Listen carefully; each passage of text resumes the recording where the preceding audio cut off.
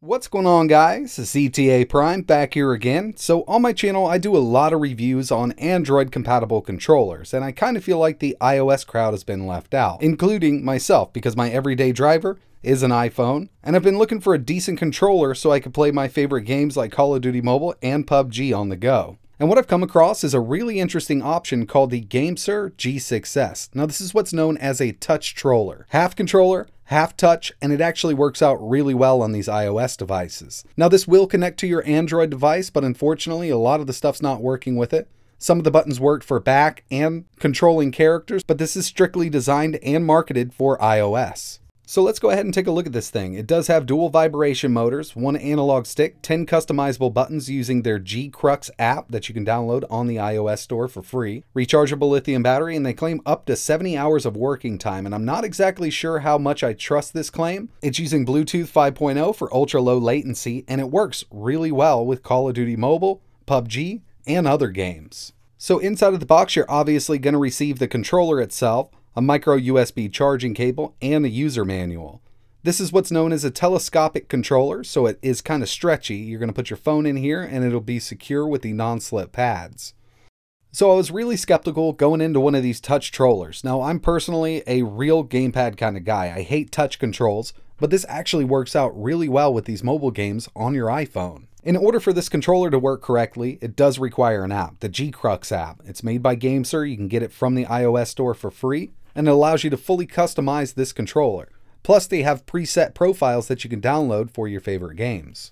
The controller does have a cutout to allow you to charge your device while you're playing. It also has some pre-drilled holes where your speakers would be, so it's not distorting the sound at all. And it works with most cases. This is the iPhone 11 Max Pro, so this thing should fit any iPhone that's on the market right now. Setup on the G6S is really easy, and I'm going to walk you through it real quick, and then we'll get into a little bit of gameplay so you can see how this thing really performs. First things first, I recommend going over to the iOS store and downloading the GameSir G-Crux app. This is going to allow us to download pre-made profiles and configure the controller itself. Once we have that downloaded, we need to head over to our settings and Bluetooth on our iOS device. We're just going to turn it on, grab the controller, hold the power button and Y for about 4 seconds until the LED starts to rapidly flash. Now we're in pairing mode with the controller itself Sometimes you may need to refresh your Bluetooth connection, so I'll just turn it off and right back on, and it'll show right up. And there we have it.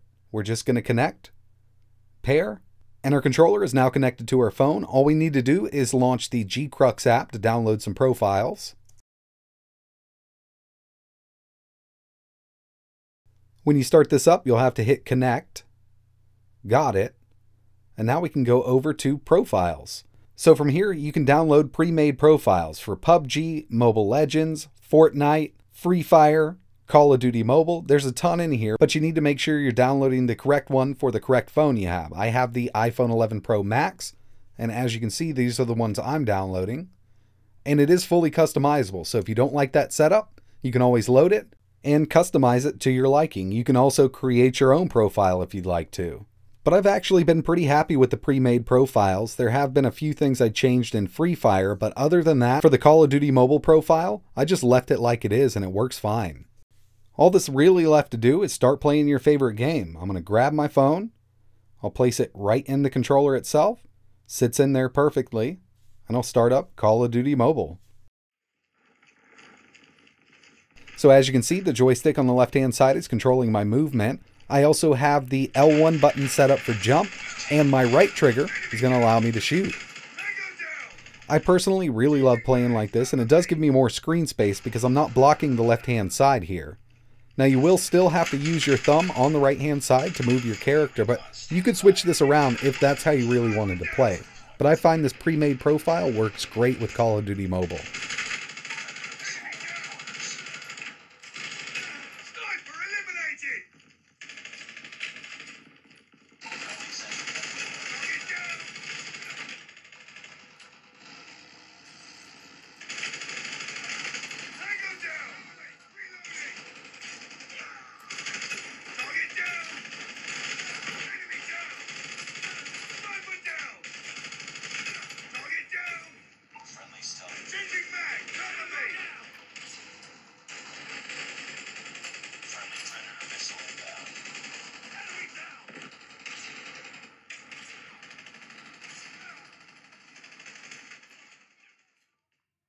And the same goes for PUBG or any of the other Battle Royale games on the iOS store. This controller works really well, and I personally really like using it over dual touch.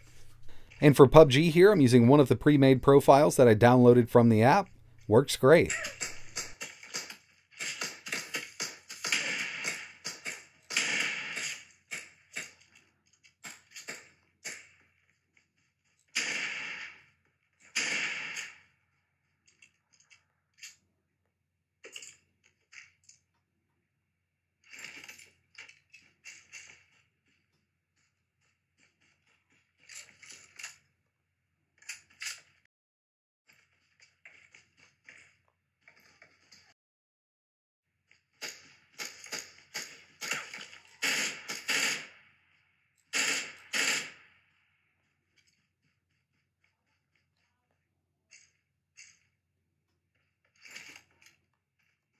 So overall, I've been really enjoying using the GameSir G6S. I never thought I would enjoy using a touch controller. That's one of the reasons I've kind of stayed away from them, but I really like this thing.